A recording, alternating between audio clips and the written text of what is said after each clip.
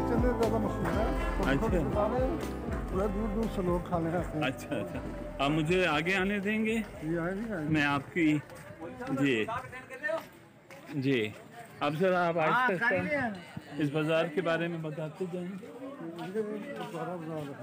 اچھا بازارہ گلی کہتے ہیں۔ یہ کوئی تاریخی مقام ہے۔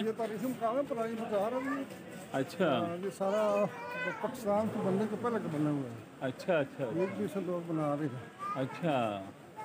تو یہ آباد کا مین ایریا ہے؟ مین ایریا ہے یہ۔ کینٹ بازار اسی کے پاس ہے؟ کینٹ بازار یہ صاف جو ہے نا کینٹ گلی کینٹ بازار ہے یہ والا۔ کینٹ بازار ہے۔ ہاں۔ تو یہ دوسرا گلی کھلاتی ہے؟ یہ گردوارا گلی گردوارا گلی۔ گردوارا گلی۔ گردوارا گلی کھلاتی ہے۔ تو یہ جو یہاں پہ یہاں پہ گردوارا ہوتا نا۔ جی۔ یہ بنا ہوا ہو گیا تو۔ تو اس وجہ سے اس کو گردوارہ گلی کہتے ہیں اچھا اچھا, اچھا۔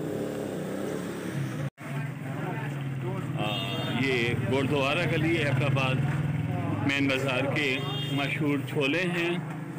ہاں، آپ یہ دیکھ ہیں یہاں پہ کافی رش ہے اور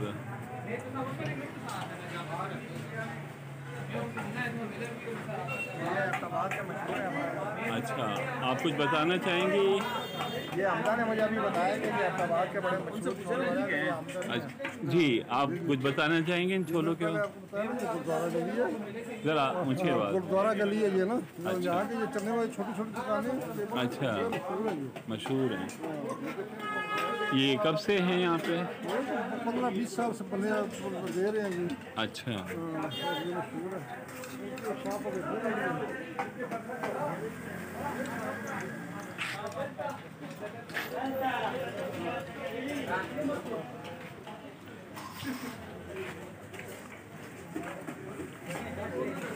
السلام علیکم۔ آپ کچھ بتانا چاہیں گے چھولوں کے حوالے سے؟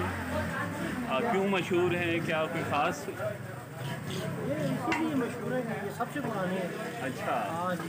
آپ کب کب سے یہاں پہ ہیں؟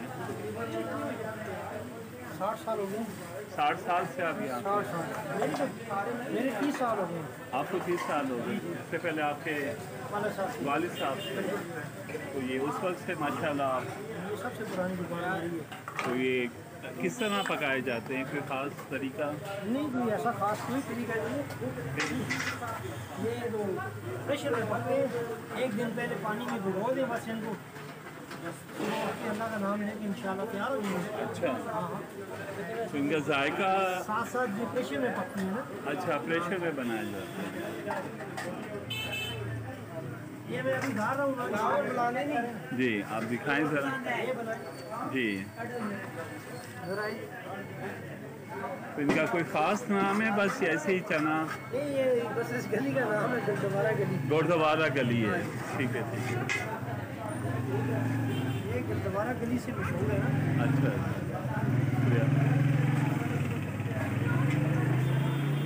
اب یہ دیکھ رہے ہوں گے کہ یہ افراد جو ہیں کتنے شوق سے یہ کھا رہے ہیں۔ آپ بھی کھاؤ۔ جی جزاک اللہ۔ میں ذرا کھا لوں پھر اس کے بعد میں آپ کو بتا رہا ہوں کہ ان کا کیسا ذائقہ ہے۔ جزاک اللہ۔